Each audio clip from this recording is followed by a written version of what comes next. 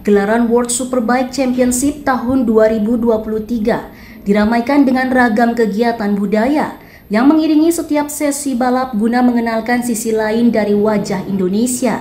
Seperti momen pit walk yang dibuat selayaknya karnaval.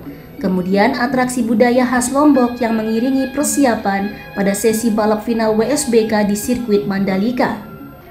Gubernur Nusa Tenggara Barat Zulkifli Mansyah mengatakan bahwa WSBK di sirkuit Mandalika lebih dari sekedar balapan, melainkan ajang mengenalkan budaya. Alhamdulillah kita dikasih ruang yang sangat besar kan, mulai ada Lombok Sumbawa Festival dengan menghadirkan UKM-UKM kita. Kemudian kita juga diberikan kesempatan sebagai mendemonstrasikan budaya kita ke seluruh dunia. Ini kan bagaimanapun bukan hanya event di sini, tapi kan broadcast itu disiarkan di seluruh dunia.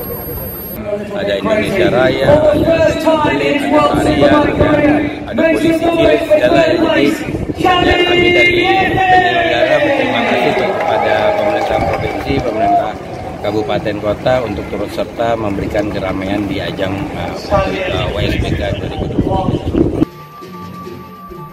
Seluruh pihak mengapresiasi WSBK di sirkuit Mandalika yang diharapkan dapat memberikan kesan berbeda dibanding dengan sirkuit di negara lain. Demikian juga keramat tamahan Indonesia yang menjamin wisatawan betah untuk menonton balap sekaligus berwisata di Lombok, Nusa Tenggara Barat.